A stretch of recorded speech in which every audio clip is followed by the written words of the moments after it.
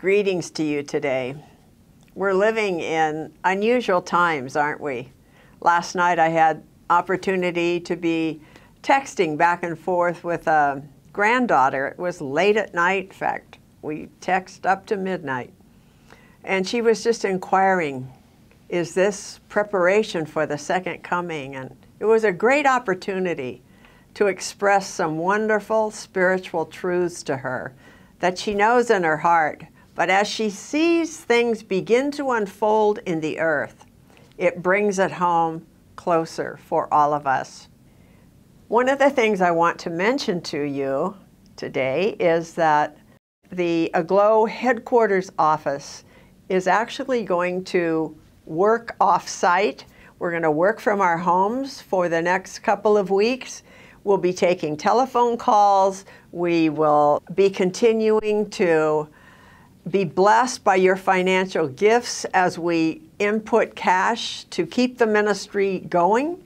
So, the word today is to encourage you to stand strong in faith, to believe that God has your protection, your family, your person covered by His blood and all that Jesus completed for us on the cross.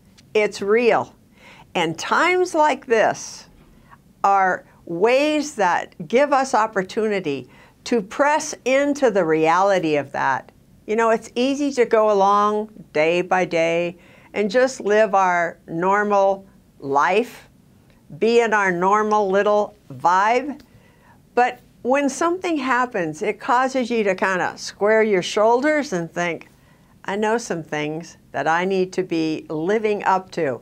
This is an opportunity to come up higher, and we're doing it.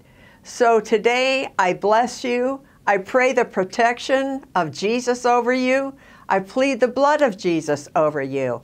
We're going to get through this and we're going to come out higher than we were before, better, stronger, more joyful than we were when this virus broke out, not just in our nation, but the nations of the world. So bless you today. Be well.